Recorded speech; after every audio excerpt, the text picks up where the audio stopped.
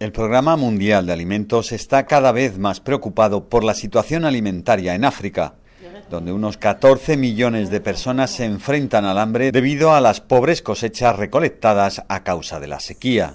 Los científicos atribuyen esta sequía al fenómeno meteorológico del niño. Las previsiones señalan que el número de personas que no tienen suficiente comida aumentarán de forma significativa en los próximos meses cuando la región africana se interne más en la estación inmediatamente antes de la cosecha de abril. El Programa Mundial de Alimentos también ha observado que los países más afectados son Malawi, Madagascar y Zimbabue.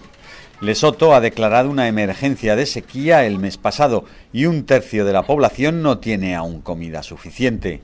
También preocupa la situación en Angola, Mozambique y Suazilandia.